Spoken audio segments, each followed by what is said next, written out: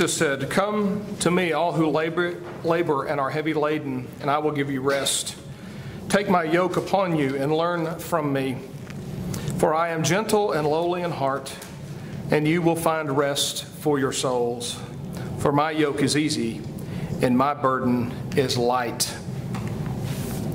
It's one of the ways in which Jesus expressed this idea that he came to bring good news to us and um, we're going to continue on with our year of the gospel today and uh, continue to look at the good news of God's salvation in Christ to us who deserve none of that but have received it through faith in Him. What, what about standing together and giving glory to God using hymn 55? To God be the glory, great things He has done. Let's stand together. 55.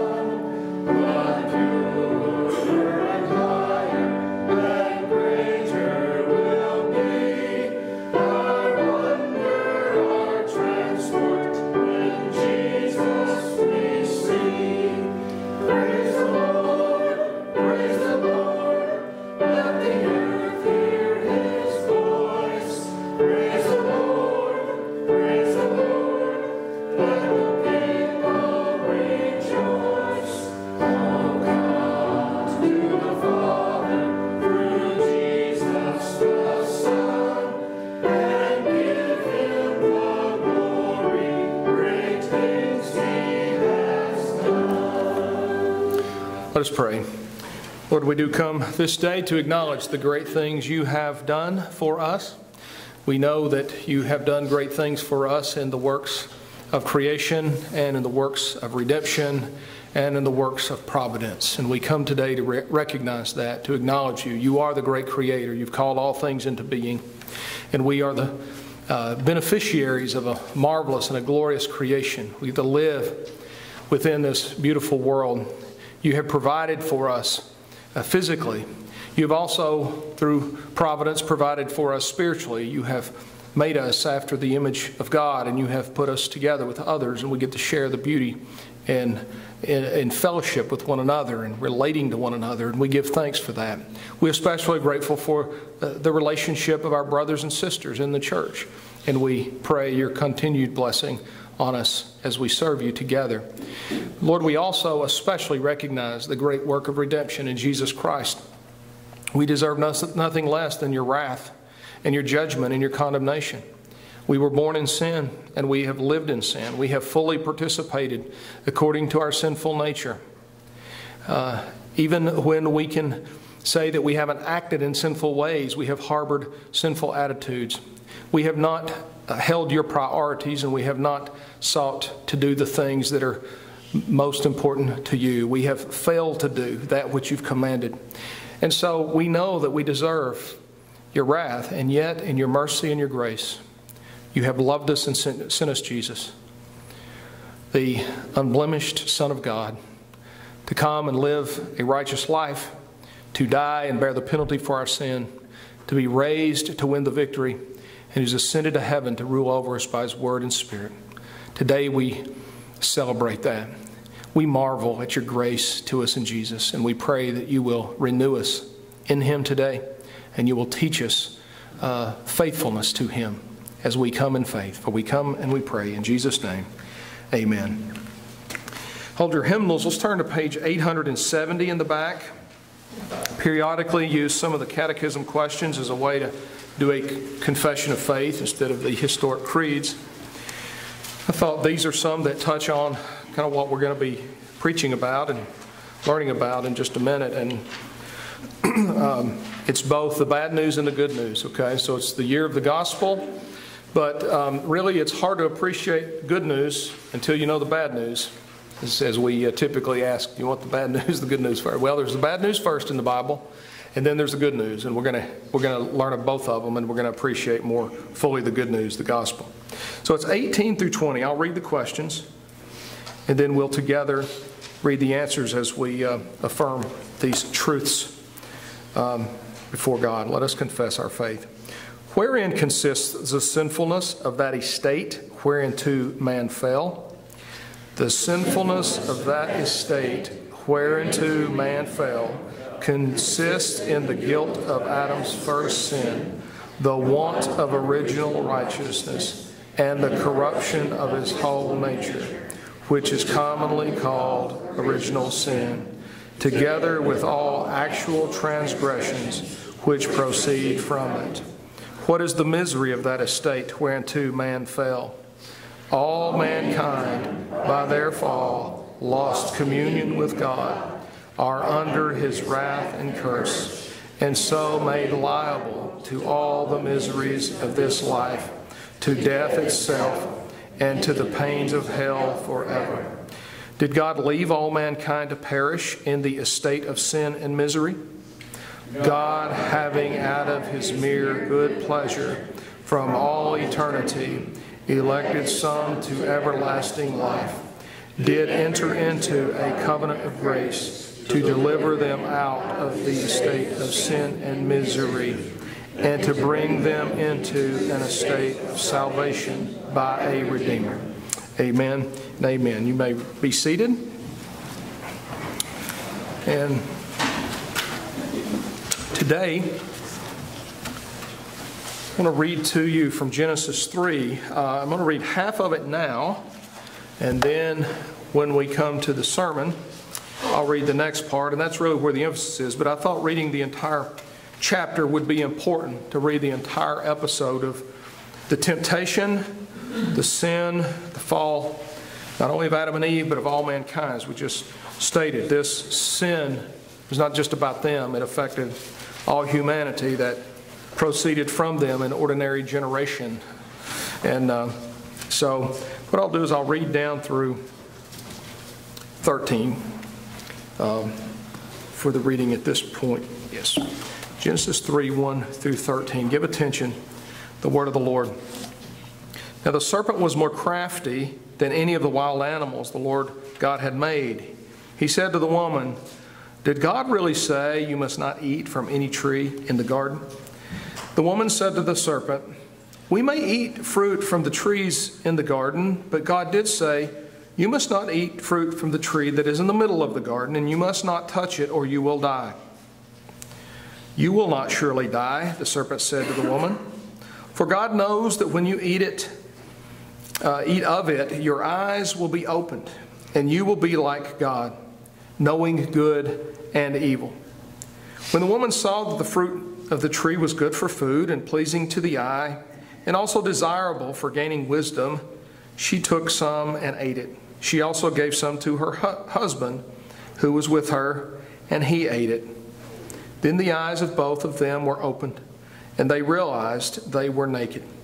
So they sewed fig leaves together and made coverings for themselves. Then the man and his wife heard the sound of the Lord God as he was walking in the garden in the cool of the day. And they hid from the Lord God among the trees of the garden. But the Lord God called to the man, Where are you? He answered, I heard you in the garden, and I was afraid because I was naked, so I hid.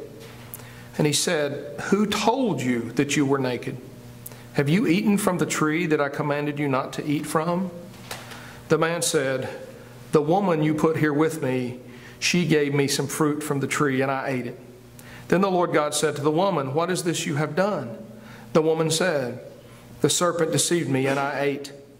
So the Lord God said to the serpent, Well, that's where we'll pick up in just a minute. That ends the reading of God's word for now. Um, well, I know we should have read the first couple of chapters to set the stage, but um, the bad news, the sin of Adam and Eve, the transgression of God's very direct and simple command, they, uh, they violated that and sinned against Him. Um, well, what, uh, what this ought to do when you read of the sin and, and you understand the biblical understanding of how sin entered through them and has come to us, not just the potential of sin, but that we are sinners. We, we have been born in, in a, with a sinful nature. Um, at least at this point in the reading, we can long for wonderful words of life, longing for and wanting and needing something to let us know what can be done about this predicament. What can be done about this state of sin and misery, as the Catechism called it? Well, how about we sing of that? 697. Uh, in just a little bit, we'll read more of the good news. But for now, uh, we'll encourage each other that uh, God has given us wonderful words of life. You can remain seated as we, uh, as we sing.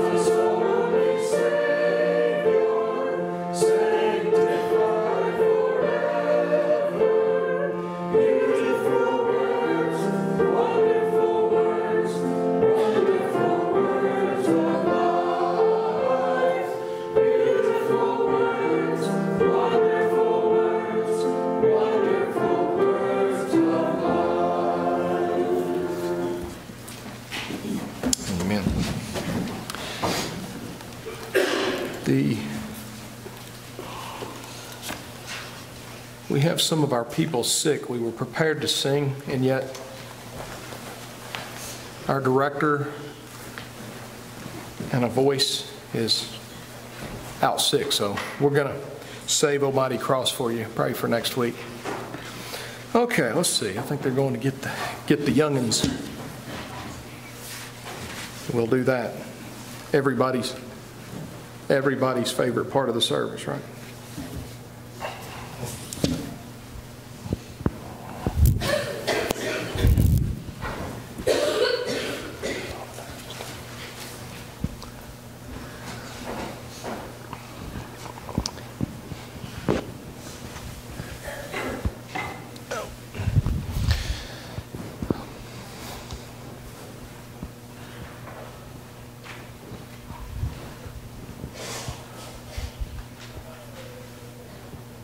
Here they come. Good. I was beginning to get nervous.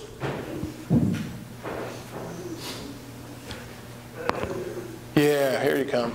Good. There we go. Hey, bud, come on. Let's let's do this children's lesson. Okay, got some. Uh, I want to talk to you about the very beginning of the Bible today. Do you all know what the uh, first words of the Bible are? You'll give it a crack? I'm going to get you started. In, there you go, in the beginning. What happened after that? Okay, uh, in the beginning, God created the heavens and the earth. You'll say that with me? In the beginning, God created the heavens and the earth. Okay, good. Well, here's uh, just a minute ago, we read about when the first people, Adam and Eve, they, they were created by God, and they were put in this place called the Garden of Eden. And they were told they had all these trees to eat from, you know, fruit, of various kinds to eat from. And they were told not to eat of the one in the middle of the garden. Does anybody know the name of that tree? The tree of the knowledge of what? Good and evil. So it has a name. It's a long name. But it's, so it's the tree of the knowledge of good and evil. And um, so they were told not to eat from it. And uh, does anybody know uh, what was there to tempt them? Do you remember this from the story? What, what was it? Snake or serpent? And uh, now, when we read that and we read in other parts of the Bible, we understand that it wasn't just any old serpent or snake. It wasn't just like a, you know, rat snake or, you know, corn snake or copperhead or something. It, was, it, it uh, referred to actually Satan coming, the devil coming to tempt them. Okay? And so that's really what it's about. And so um, they were told not to eat of the tree, and the, the serpent comes along and says, This is Satan, did God really say not to eat of that tree? And uh, Eve was the one, she says, Well, God said not to eat of it. The one in the middle, we can eat of the other trees, not to eat of the one in the middle, and to not touch it. Now, she, he didn't say don't touch it, he just said don't eat from it. And but Satan was trying to get her to doubt God's you know word and he says, "Well, God knows that if you eat, you're going to become like him. You're going to know good and evil." And then it said, here's how it went. It says, when the woman saw that the fruit of the tree was good for food and pleasing to the eye and also desirable for gaining wisdom, she took and ate. She gave some to her husband who was with her. That moment their eyes were open. And then they then they felt shame and nakedness and God comes along. Now here, the reason I want to recount that with you is this, is that God has made, He made the world and it was all good. Eh, the first chapter of the Bible says everything was good. And then He made Adam and Eve in His image and they had this wonderful place to live. And they sinned, okay? Now what a sin is, what, when we say sin, we're talking about doing something against what God has said, okay? And for them, that sin was eating that fruit. Okay? And since then, that meant that all humanity, every person that was born, was going to be born into a condition where we were sinners. Now, last week I asked you, are you a sinner? Well, let's raise our hands if we're sinners. Have you ever done anything wrong? yep, we, we, we got it. Well, the reason you're a sinner is because you have a nature. You have some, you are, your nature is that way, okay? It's not just that you are some, something strange in the whole world. No, we all are that way. But God doesn't intend for us to stay that way. He intends to redeem us and to save us by Jesus. And today, we're going to get to a verse in which even when they sinned, even when they done, did what was wrong in God's eyes, here's what happens. God showed them love and mercy. You know what He did? When they felt shame for their nakedness, He made some skins for them to put on so they would be covered. And He assured them that there would be someone who would come and take care of that serpent, that snake. And he's not talking about the snake, he's talking about Satan. So already, see, the adults are listening right now. They're not supposed to be listening. They're supposed to be paying, you know, doing their own thing right now. So they're getting the thrust of what the big sermon is right now. He already told them, even though you've sinned, I'm going to make sure and bring one who would who would take care of the serpent, this uh, Satan, take care of that. So already there's a hope of salvation. See, it's we're sinners, and God's not happy with that. But God certainly loves us, and He has provided us Jesus to be our Savior.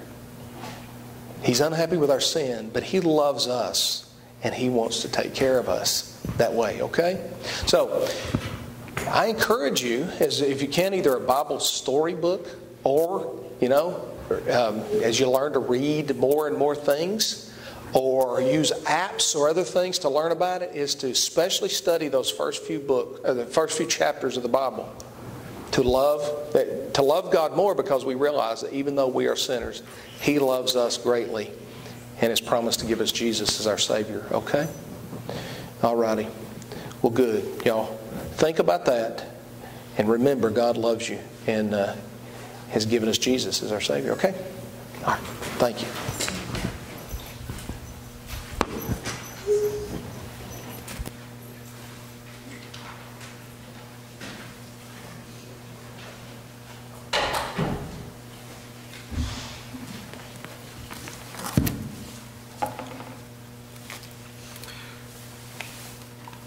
The Lord in prayer.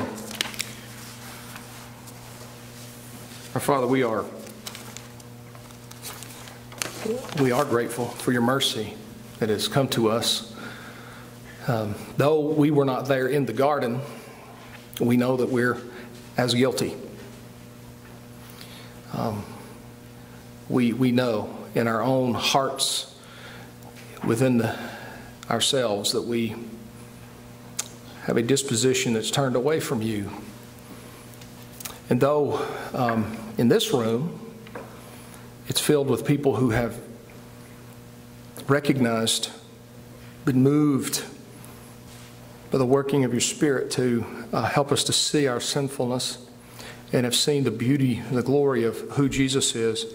And we've been prompted and led to embrace Him, to turn from our sin and repentance and embrace Jesus in faith as the Redeemer we still know that that influence of sin is with us. So we pray for your ongoing work of sanctification to, re, to empower us to overcome. Help us to give ourselves over to the leading and the prompting and the guidance of the Holy Spirit and to less and less render ourselves over to the sinful nature that still influences us, even though it's no longer the dominating force of our lives.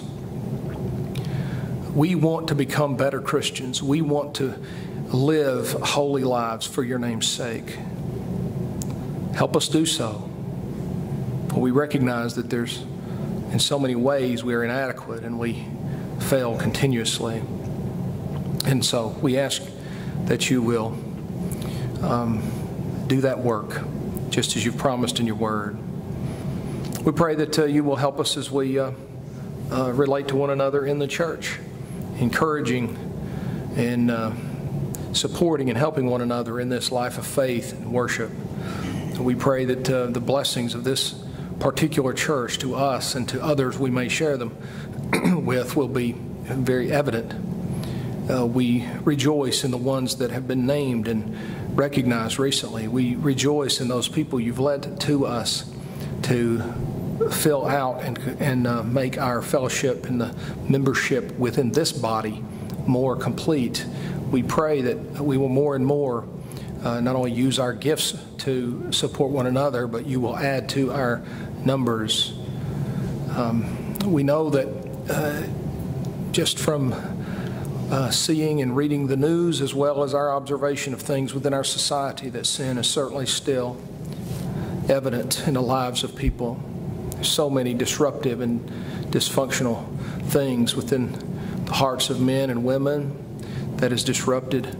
Satan is still tempting and uh, alluring people away from truth and from what is right to that which is wrong and displeasing and contrary to your word. And so uh, we know that ultimately you must move. So we call on you and we pray for your reviving um, uh, ministry, that the Spirit would move to bring revival and awakening in the hearts of people, conviction of sin, recognition of the need of a Savior.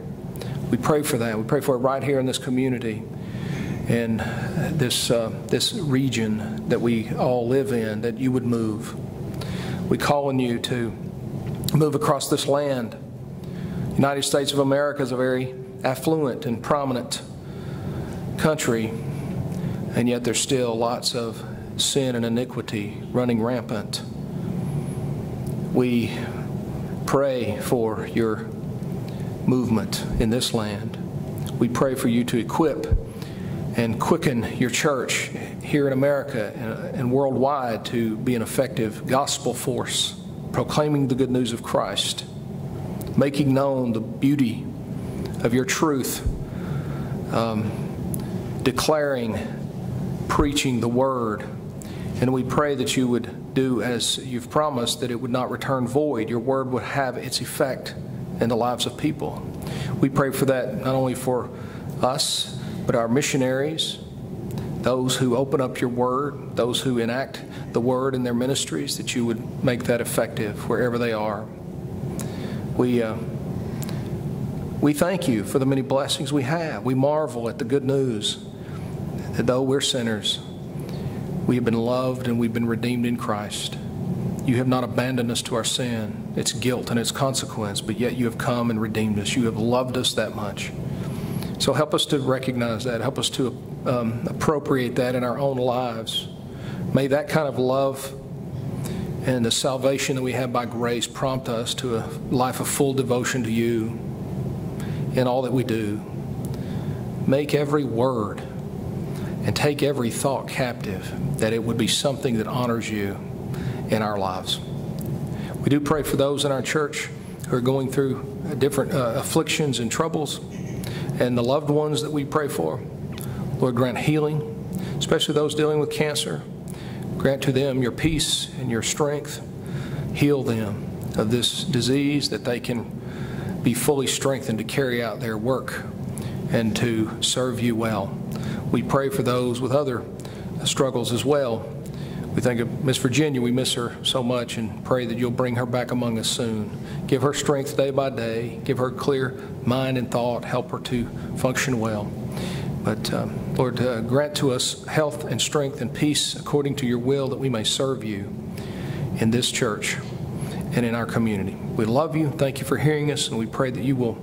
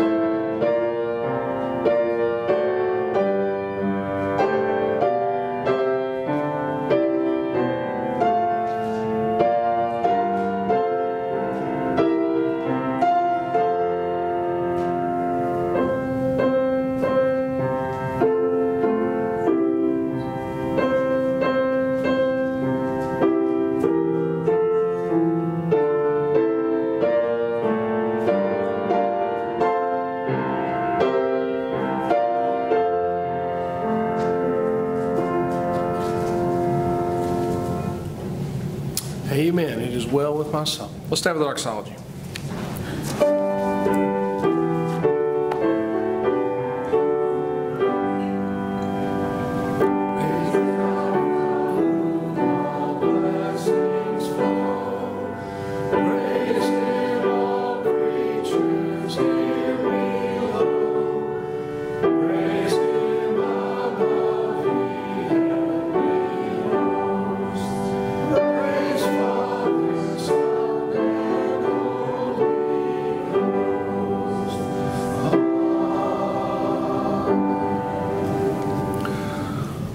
Thank you for every good gift. We return this portion asking your blessing upon it to make our ministry effective in this place for your name's sake.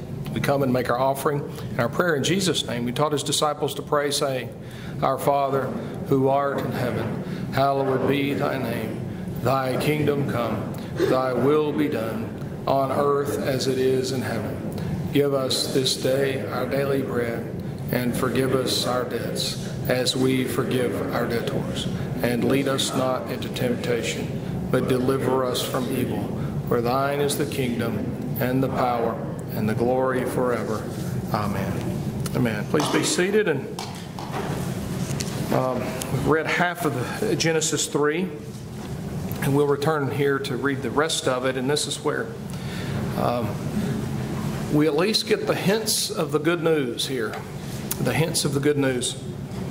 Um, because I said it's going to be the year of the gospel, and now I'm reading about Adam and Eve sinning in the garden against God and all the mess that that made. Where's the good news? Well, I'm going to show you. There is good news to be found here. And uh, so, starting with verse 14, Genesis 3, picking up this reading. We started earlier from verse 14. You'll follow along here, and you'll see. Look for the good news in God's reply, his response. Give attention, the word of the Lord. So the Lord God said to the serpent, Because you have done this, cursed are you above all the livestock and all the wild animals. You will crawl on your belly and you will eat dust all the days of your life. And I will put enmity between you and the woman, and between your offspring and her, hers. He will crush your head and you will strike his heel. To the woman he said, I will greatly increase your pains in childbearing. With pain you will give birth to children. Your desire will be for your husband, and he will rule over you. To Adam he said, Because you listened to your wife and ate from the tree about which I commanded you, you must not eat of it. Cursed is the ground because of you. Through painful toil you will eat of it all the days of your life. It will produce thorns and thistles for you, and you will eat the plants of the field. By the sweat of your brow you will eat your food until you return to the ground, since from it you were taken. For dust you are, and to dust you will return. Adam named his wife Eve because she would become the mother of all the living. The Lord God made garments of skin for Adam and his wife and clothed them. And the Lord God said, The man has now become like one of us, knowing good and evil. He must not be allowed to reach out his hand and take also from the tree of life and eat and live forever. So the Lord God banished him from the Garden of Eden to work the ground from which he had been taken. After he drove the man out, he placed on the east side of the Garden of Eden cherubim and a flaming sword flashing back and forth to guard the way to the tree of life. This ends the reading of God's holy word. So there you have it. Most of that's bad news. Most of that's pretty ugly. And uh, it's, it's not myth. It's not, um, it's not some you know, fairy tale. Uh, we take it to be exactly as it has been presented. It's a historical account of something that happened. We are, de- we are completely dependent, even the one who penned it was completely dependent upon God to reveal what happened at the beginning. Now, we very well could have been that through Adam and then the uh, ones who followed, there was certainly a message. Uh, they, could, they could tell what went on, there was a mechanism there. Uh, we, we do believe very strongly that our Christian faith it's not just about truths in the abstract, but they are truths that have been revealed, recognized, and things that have been effected in real time in history. And one of the supporting, uh, the, the supporting aspects of that is that we have historical scriptures that tell us about how God has worked throughout history and time. So we're completely dependent upon God revealing that, doing this, and then it being preserved with even within the experience of people to tell us this. But it's that's what happened. It's a place, it's people who were created, who had a marvelous uh, existence, a beautiful harmony and fellowship with God in an abundant, uh, glorious existence in this garden, and they were given a command that one command, the one command that was given, the law of God was known by one command at that point, and that was this one tree, the knowledge of good and evil. They were not to eat of it. And in the first part of the reading, we saw how the tempter comes along, the serpent. Um, it's Satan either through the serpent, or I've heard somebody use a. Uh, pretty, it's fairly persuasive argument that that's more of a title. The serpent was the title given to Satan in the garden rather than the, the form that he took. But nevertheless, uh, there's too much there. To, you know, it, it's using that imagery of the sly, crafty snake and crawling on his belly and all that sort of thing. Uh, it's been traditionally understood Satan took up the form of a serpent to bring this temptation. And so it, it works. It helps us to account for both the that it's Satan and that there was a serpent involved and what that means. But nevertheless, he comes along and tempts Eve first, but they both transgress by eating of that fruit. They disobeyed the word of God. They disobeyed what he had said. They violated the law and the command that God had given them. It was very clear. They had an abundant and full garden to eat from, and the one tree was off limits. And through this process, as it said earlier, she saw that the fruit was of the tree was good for food, pleasing to the eye, and desirable for gaining wisdom. The tempter had convinced her that somehow eating this was going to, it wasn't only about eating a fruit, it wasn't only about the stomach, it was also about some wisdom or some uh, knowledge that would be beyond that. And when she transgressed by eating and giving to her husband, they transgressed, then that's what we call theologically we call it the fall, the fall of mankind. It's not just a fall because it was an accident, it was a fall because it was a deliberate transgression of the Word and the law of God by Adam and Eve. And from this point, from that point, it changes the whole condition of creation of the humans themselves and all who would come after them. What was, as uh, you probably pick that up in those few questions we read. You, you read a few others in the Catechism to see the way it's described there. They were created in this beautiful place of holiness and righteousness, a condition of holiness and righteousness in a perfect and harmonious environment. And from that point, after sinning, not only was the ground cursed, was there things outside of themselves, but something was changed inside of them uh, inside of them. They were changed. And so from that point, we call it the fall, the fall into sin. Not just that they sinned and it brought us a condition or situation or a punishment or a consequence, but that the sin actually had an effect on their very nature. It was corrupted, it was now changed. And so that's the world we live in, that's the experience that we have born, been born into. That's the nature of which we have received. One of the struggles, I kind of alluded to this, we are talking in the adult class today, is I think one of the struggles in trying to live a life of faith and righteousness before God is that we long for what was in Eden.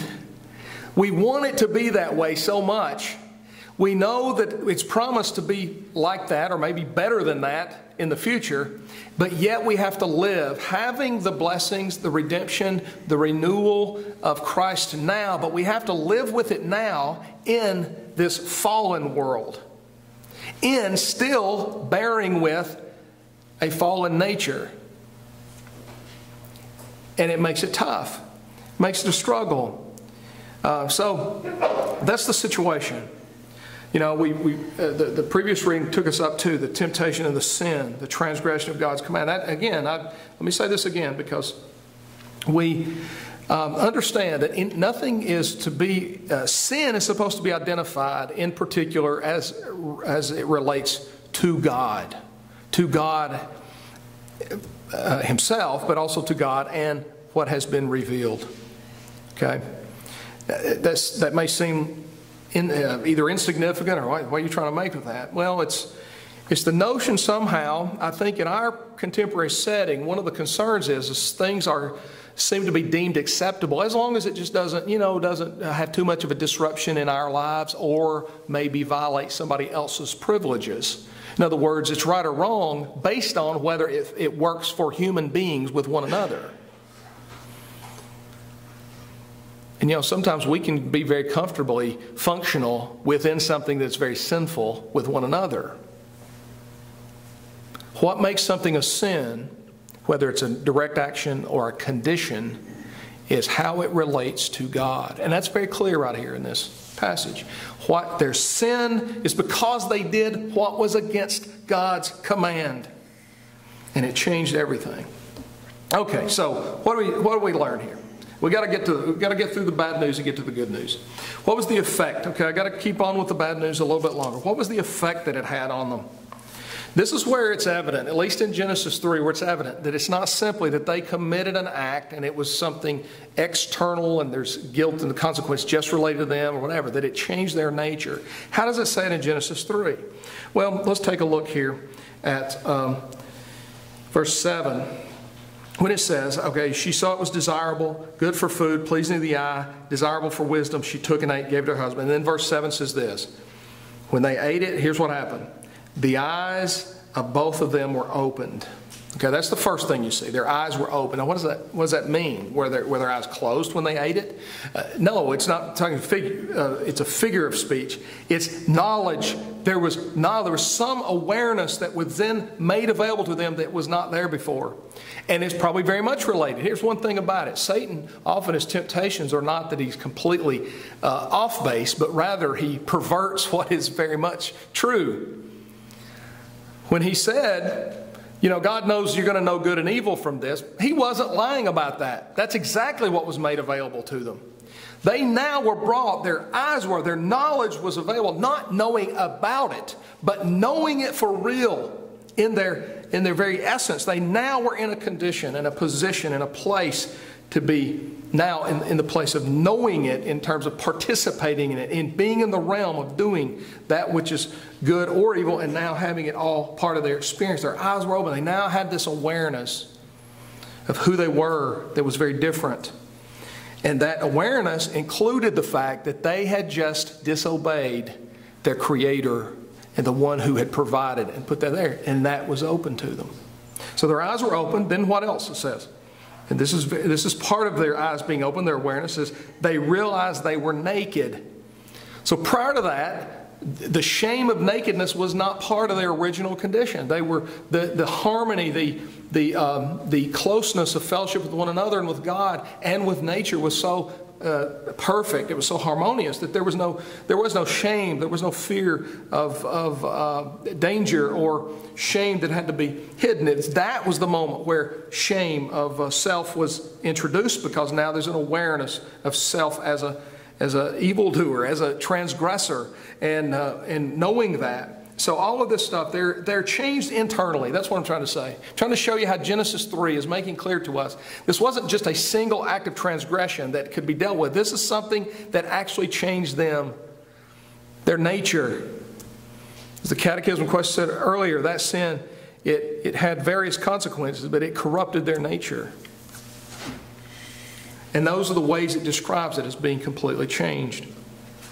And so what they do about it? Well, they went and tried to make their own leaf coverings. Uh, that's not the only thing. What else? When God finally comes to them and says, uh, What are you hiding for? And Adam says, well, I heard you and I was just ashamed because I'm naked. He said, Who told you you were naked? Again, that's just having this awareness. The shame now has entered into this relationship because of transgression, because of sin, because of violating the Word of God. And then what does he say? This is beautiful. This is, I mean, I don't say mean beautiful. It's not good. I'm just saying it's a beautiful depiction of exactly how we tend to deal with our own guilt even now. Who told you? Uh, did you eat from that tree? Oh, yeah, yeah. The woman you put here with me, she gave it to me to eat. He was guilty, but what's he doing? He's deflecting it over here. So God turns his attention to Eve. What is this you've done? Oh, the serpent deceived me. You see how the, see how the nature, the, the, the whole way of relating is different and changed?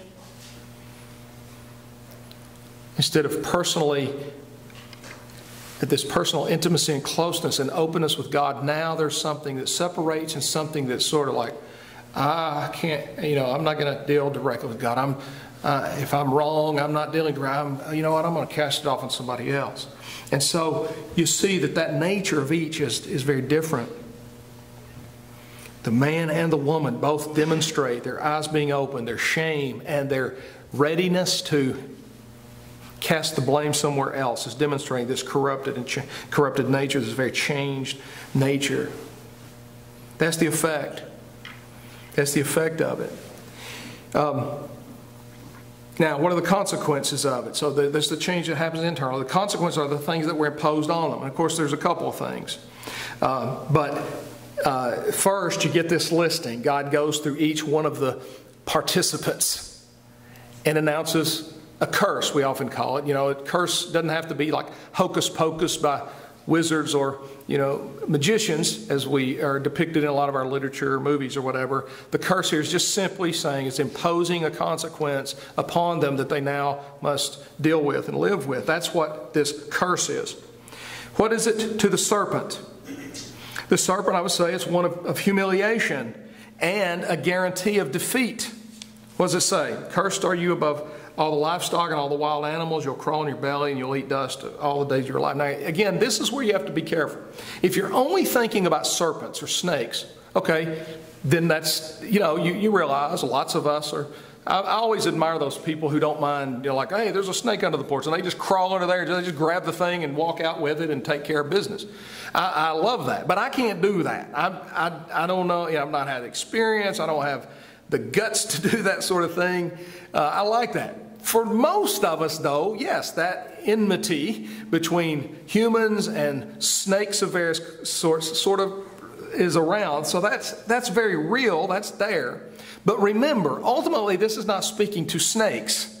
This is something God is handing down and declaring to Satan, who is either known in, by the title of serpent or, as is traditionally understood, he used the mechanism of a snake to make this, to bring this temptation.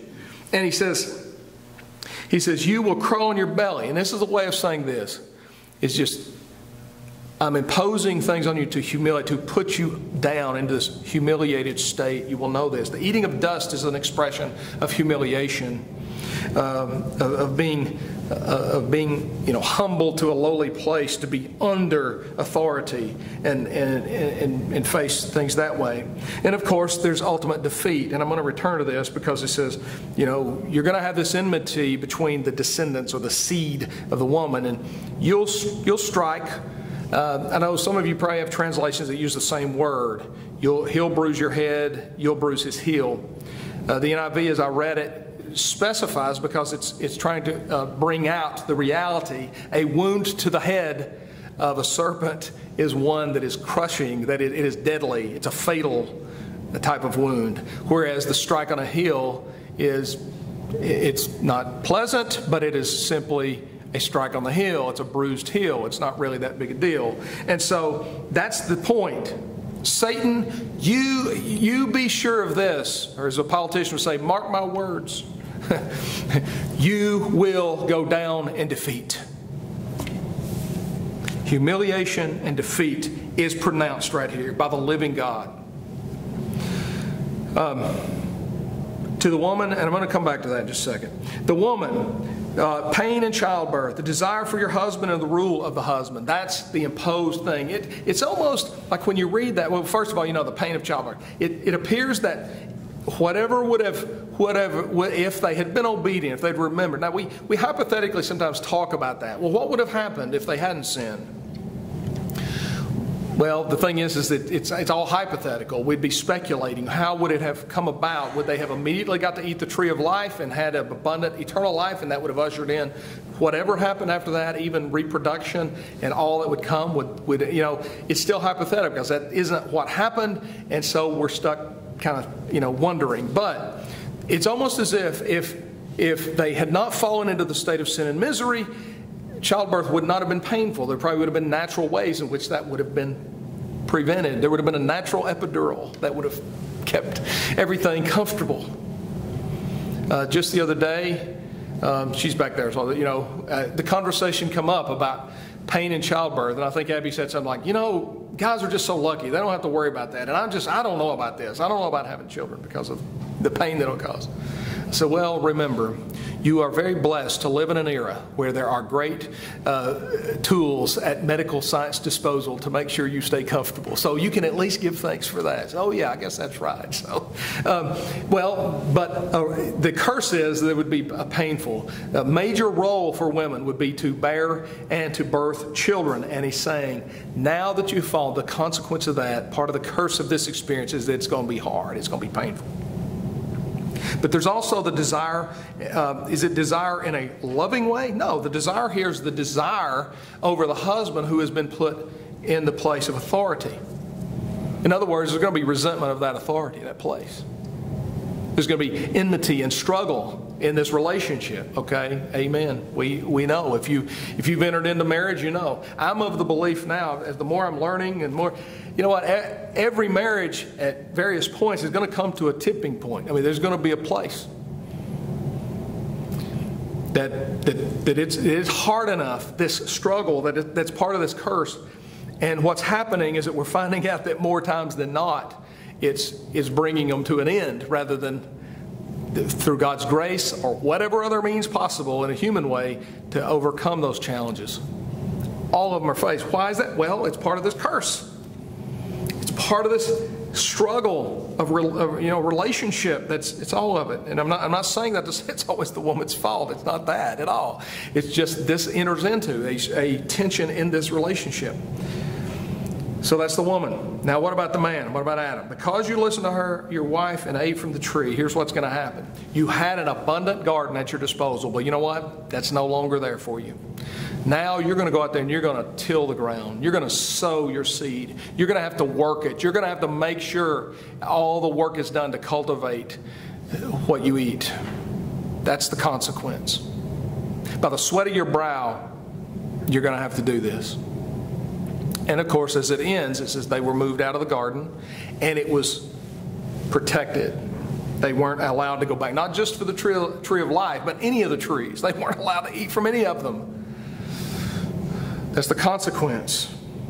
Now, in the midst of all this cursing, these horrible consequences handed down by God, not only was there a change internally of the man and the woman, but there's he's handing down a consequence. Um, you know, in Romans 8, there's a section that says, All creation is groaning and awaiting the revealing of the sons of God. In some ways, it's like it's not just us, it's not just the creatures who are made in God's image who need salvation, who are longing for uh, Christ to come and to get us and to, and to bring us into the fullness of the kingdom and the new heavens and the earth. Everything is groaning. You know, the destructive floods, the tsunamis, the hurricanes, the earthquakes, everything. And the more we hear of that, I think it's one of the reasons why those are the signs listed. It's just telling us the world as it is is in a fallen and a cursed condition, and it's letting us know it ain't happy. Even the creation, even the inanimate creation, is longing to be renewed when God does his final work to make the new heavens and the new earth. So, all this bad stuff, okay? Jeff, I thought this was supposed to be the year of the good news, the gospel. Here it was. Theologians have termed that expression when it was given to the serpent as the proto evangelium. Proto evangel. What does that mean? It's the first announcement of the good news. How did it say it? Listen to this. Speaking to the serpent, Satan, cursed are you above all the livestock and all the wild animals. You will crawl on your belly and you will eat dust all the days of your life. And I will put enmity between you and the woman and between your offspring or seed and the woman's. And then it changes pronouns. He, masculine, singular, he, will crush your head, and you will strike his, masculine, singular, pronoun, his heel. Yeah, I know. It's sort of sort of blended in there. It's kind of hidden. It's not explicit. We don't know all the fullness of that. But not only was he de- declaring the defeat, but there's also here a hint of who, what's going to happen. It's one of the women, it's one of the descendants, it's a seed, it's a singular he who would be the one who would ultimately strike the fatal blow to the serpent. It's the first announcement of the good news of the gospel that would be brought to us in Jesus Christ. It also sheds a little light on that phrase. I, I made a, a, reference to this verse uh, in Christmas, just talking about the, the incarnation. Galatians 4 4 says, When the fullness of time had come, God sent his Son and then there's this born of a woman. And you know, if you read that and you're like, well, how else would he have been born if he was going to be a human being? Born of a woman, it's sort of like a little way that Paul, moved by the Spirit, put in there to say, look, the one born of the woman, the seed of the woman, the seed of the woman, Eve, has now, in the fullness of God's purposes and plan and time, has come. The one who was said to be born of a woman, a seed of the woman, to crush Satan's head, he now came in the flesh to do it. Of course, Paul already knew he had done it and was proclaiming that, but when he made reference to his birth, his being born of a woman, it's suggesting Jesus Christ is the one that had first been promised right here. So, when was the gospel first preached? It was preached in the garden after the sin, before they were kicked out. The gospel, the good news of God's grace that saves us from our sin in Jesus Christ, fills the whole scriptures. It was first announced right there. Now, look, notice the nature of God. Nature of God is noticing. I, I got to wrap this up. I need to tell you. Even at the worst point of Adam and Eve's experience. The moment they fell, the moment they realized their shame and their guilt, and God comes to them. He questions them, sort of like a prosecutor. He, he, gets them to, he gets them to just confess their own guilt. He doesn't, he knows, but he gets them to confess their own guilt and what they've done. And when they do that, at the worst moment, even after handing down the penalties and the consequences, what does he do? He goes and makes skins for them to be covered. You get to see both sides of the nature of God, okay? I mean, our contemporary society, contemporary world of life has wanted to make God all benevolent, benevolent and all good without, with disregarding any chance that God could, could do anything, you know, of a judging or condemning nature. No, you get to see God is righteous and just, and He handed down the just consequences of the sin. But you know, He's not only that either. The other side is He's merciful. They had just disobeyed him directly, given up all, the, all of the abundance that he had provided in order to pursue another way. He gave them the consequence, but then in mercy, he provides the skins. But he's also assured them of ultimate victory.